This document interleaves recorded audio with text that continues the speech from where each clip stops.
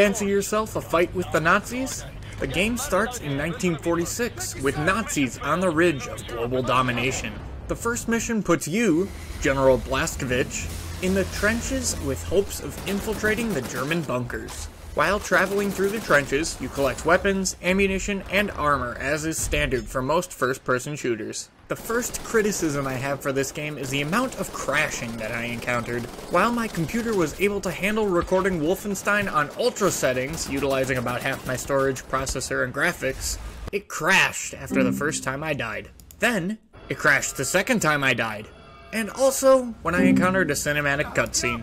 To remedy this, I put the game on medium quality graphics, and I still encountered the same problem. Moving forward, the game introduces your main antagonist, General Wilhelm Deathshead Strauss.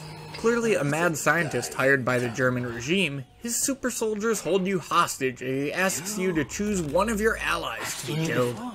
I won't spoil the next part, but you are then separated from your crew and the next mission starts in 1960 with vengeance on your mind.